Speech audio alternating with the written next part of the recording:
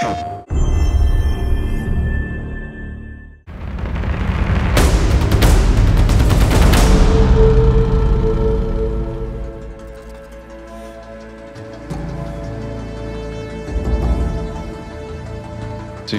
have the original theme or have the original character, but knowing that she's going to have a very different journey. That was a, big part for me, is knowing part of the story in, in that things are not all great. At the end of Horizon Zero Dawn, there's been this catharsis of like, I've, I've resolved something, but that doesn't mean that everything in the world is resolved. There's almost an element of sadness or an element of impending danger that was really interesting to weave into that theme.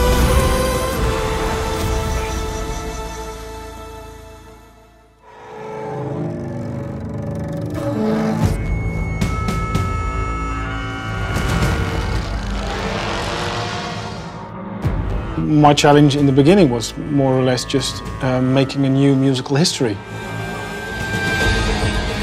Determining what, what the sound palette was for, uh, for example, the Tenakth. And it was a fun process as well to uh, get to which drums would work in the game. That was a fun assignment, to say the least turned out to be a unique sound that made it onto Horizon.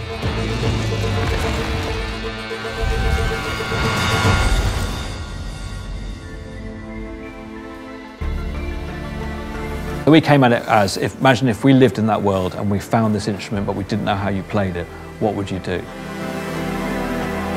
You maybe wouldn't pick up a guitar and play it like a guitar if you'd never seen one before, you'd never seen the historical pictures of it. You can play instruments without completely changing the sound, but you can play them in a different way. Setting up a rhythmic delay and, and, and using a guitar as a kind of more of a percussion instrument rather than as a lead. Using a um, volume pedal to take off all the attack. You can still play the chords that a guitarist can play on a guitar, but you get this, this completely otherworldly kind of sound.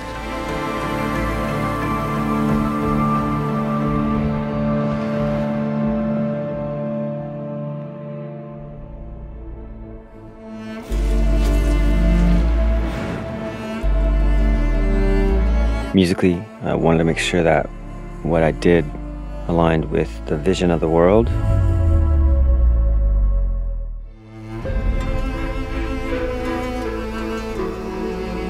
I was just expanding on the world that you guys had created already, and that was a great challenge. There's a certain point where I get goosebumps there's the goosebumps at the start of the project where you're excited but you're also nervous. But then there's the goosebumps at the end where you realize this is something special. This has all the DNA to be something really special.